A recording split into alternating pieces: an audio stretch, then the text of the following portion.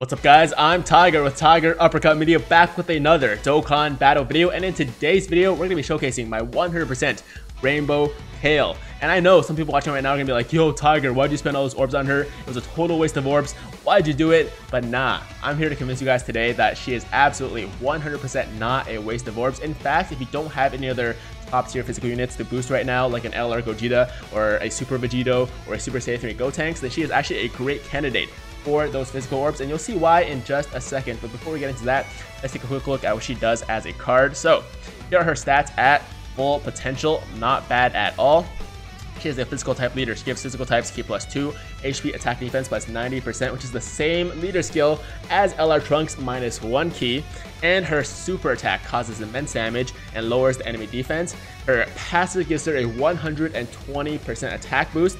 And she also has a guaranteed chance to launch an additional attack every turn, which has a great chance to become a super attack. So, she gets immense damage multiplier, she gets 120% on her passive, and she has a very high chance to do two supers, two supers per turn. So all those factors combined make her a very, very hard hitting unit.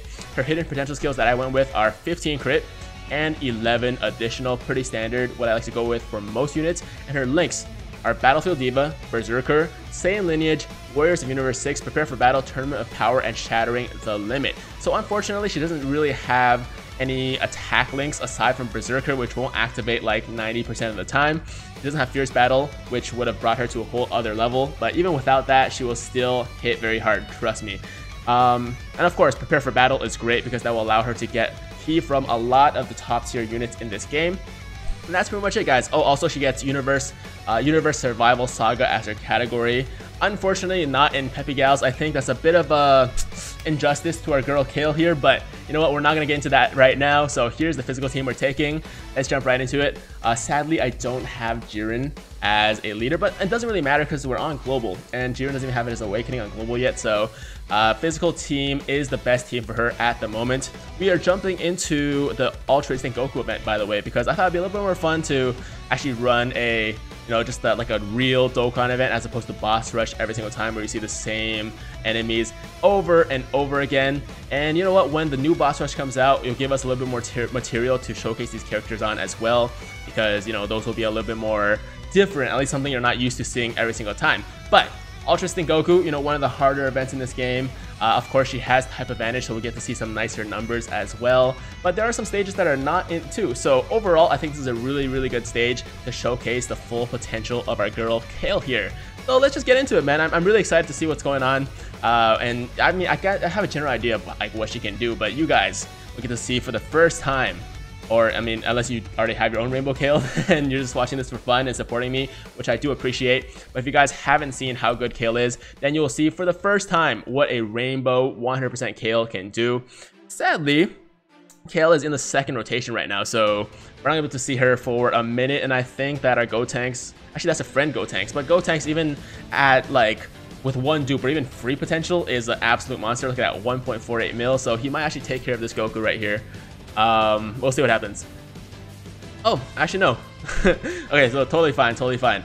I absolutely love this team, by the way. I think the physical, mono physical team is probably my favorite mono team in Dokkan right now. Uh, AGL is a lot of fun too, STR is a lot of fun too, but I think just because I have that Rainbow LR Gogeta and um, also my Physical Vegito Blues Rainbow too, I probably have the most Rainbow units on this team that I have of any mono type team. So personally for me, I really, really like mono physical. But uh, let me know in the comments down below. Actually, I'm curious, what are your favorite mono type teams? Do you guys still run mono teams? Because of all these category teams now, they're obviously a lot stronger, but I think it's still a lot of fun to run mono teams. But we're getting on a tangent. You know, you guys know how I like to, you know, get get carried away with certain tangents sometimes. But okay, we got our Kale. Let's give her some orbs. Doesn't really matter. Hopefully she can get it. Actually, doesn't really matter if she gets additional off because I think this one attack will take care of her, take care of this Goku. But let's see what she can do. Let's see what she can do. Doesn't get any defense on her passive, which means that she is going to be a bit squishy. But that's kind of the case with all Broly cards, and since she's basically the canon Broly, um, you know, it's not surprising that she is a little bit squishy. 904k crit right off the bat, and keep in mind that's only one super. She had a very high chance if this Goku hadn't died. she would have had a very high chance to get additional second super off as well. So something to keep in mind right there. We're going to see her come back in a second and also probably get that boost from, ooh, this is the STR stage. I just realized actually there are two STR stages and there's also the uh, next Spirit Bomb SDR stage that will, you know, cause some issues for us because if we don't kill him before he attacks us, we're basically dead. So I didn't, I didn't, I didn't take that into consideration. But you know what? We're gonna press on because this is this is my bed that I laid, or the bed that I. What's that? What's what's that expression again? Like you, you. Oh, this is a bed that I made, so I'm gonna lie in it or something like that. I don't know. I don't know. Yo, English is hard, man. All these like proverbs and idioms and stuff like that. But anyways, getting sidetracked again. Can we get a critical off? Possibly. You know, some some nice crits. All right, there we go. So the only way we're gonna get through this like, you know, without too much trouble is to be if we get a bunch of crits. But, you know, all of my physical characters on this team have solid investment in the potential skill system, so I'm not, like, too worried. I am a little bit worried that we're to die because I didn't bring the appropriate items. we'll see, we'll see. Okay, LR Gogeta is going to go in the second slot. We got another subscription. Kevin Stevens, welcome to the Tiger Squad. And, uh, you know what, I'm going to, hmm, what should I do? What should I do? Let's use another Dende. And I think we'll be fine for the future stages when he goes super, when he goes uh, int, because, you know, we got the type advantage there, so it's not going to be a huge issue. But if anything, Gogeta should take care of this Goku right here, right now. I want to see what Kale can do first. So obviously she's not tanking for, for much. 102k though on her attack stat. We get another crit. Come on, Kale, show out, show out. Ah, no crit though. But additional super attack. Okay, over a million attack stat for each super. So you combine those, that's a over 2 million attack stat right there. And, uh, oh my god. Yo, triple super though. Triple super. So 3 million, over 3 million attack stat if you combine those and 935k crit. Freaking beast, guys. What, what did I say? What did I say? Okay, let's try to not die on the stage now. let's really try hard not to die here. I'm going to obviously use a Ghost Usher. And uh, the good thing is that he actually comes back as the last attack on the next turn too. So hopefully on the next rotation we can kill him and, you know, just move on with no issues. But if we die, we die. You know, we'll go to another, we'll go to a different event and test her there. How about that? I think that sounds good. Okay. Tell me something good, Gotenks. The friend Gotenks, I think, only has the free dupe, like free potential open, so he's not to be too impressive. But my uh, SJ3 Gotenks, he is rainbowed, so hopefully he can get a nice crit and just take care of business here. Let's go. Let's go, let's go, let's go. Okay, 1.73 mil. And if you think about it, okay, Kale attacked three times, three supers. Technically, her attack stat was higher. Her attack stat was higher. Thank you, Super Saiyan 3 Gotenks. Um, was higher than this Gotenks here because Gotenks went up to 1.7 mil with his one super, while the three supers combined went up to over 3 million for Kale. So she is just stupid good, my friends. Like, just, just, just absolutely ridiculous.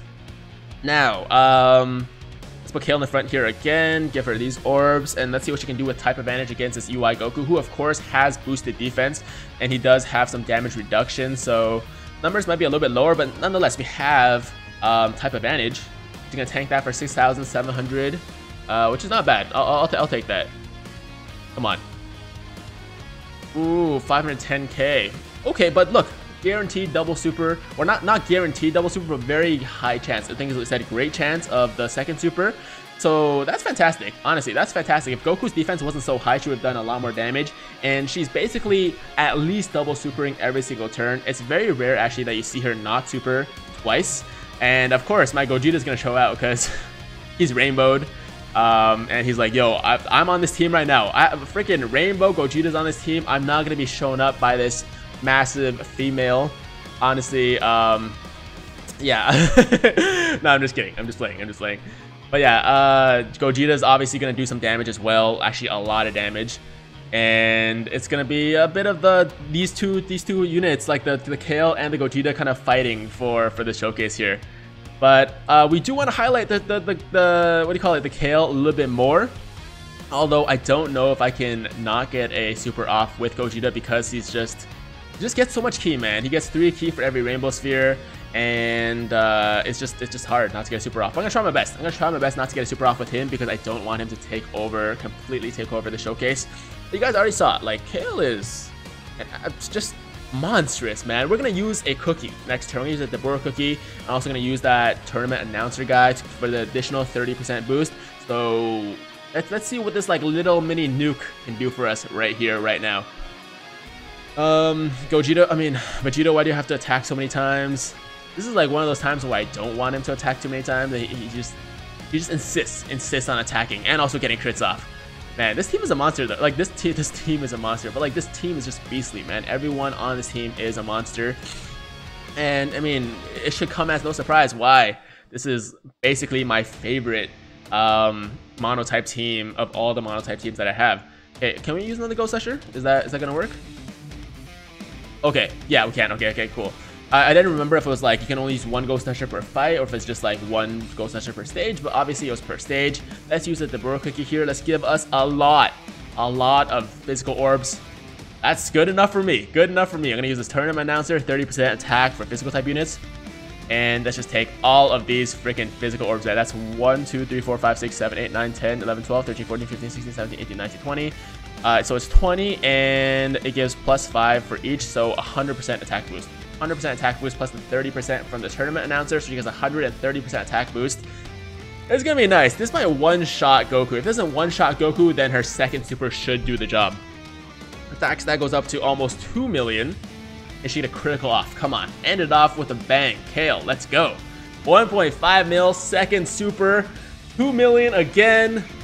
Oh man, just such a monster of a unit, guys. She's basically and a double critical, so over 3 million damage with those two attacks. Obviously, you're not going to be using a Deborah cookie every single time, but she's just overall very impressive, man. Very, very impressive. Can't complain at all about this card. Like I said, you have the spare orbs, you have her duped out, and you've been wanting to you know, have a new rainbow unit in your collection, she's definitely a good candidate for those orbs. I just had a bunch of um, orbs lying around for my Faringo wishes and all those things. They've been giving out orbs like pretty regularly these days. So yeah, I was like, you know, why not? Might as well give it to her. And I already rainbowed her um, her friend Caulifla a long time ago. So yo, I had to give that love to my girl Kale.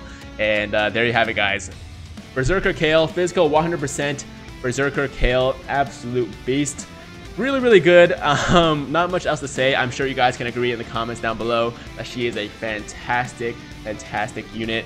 And uh, it's a great addition on any physical team. And of course, Universal, uh, Universe Survival Saga team as well if you have the Jiren. But that's going to do it for the showcase today, guys. I think she is a fantastic unit absolutely in love with it. I'm going to be running her a lot on my physical team. And uh, yeah, let me know in the comments down below what you guys think of her. If you guys think that she is worth the orbs or not. Like I said, I totally think she is. But anyways, guys, you liked the video today, make sure to like the damn video. And if it's your first time watching me, first time to the channel, you like what you see, then make sure to hit that big red subscribe button to join the Tiger, Tiger Squad today. Man, English is freaking hard. Anyways, guys, as always, hope you guys have a fantastic day. I'm Tiger with Tiger Uppercut Media signing out.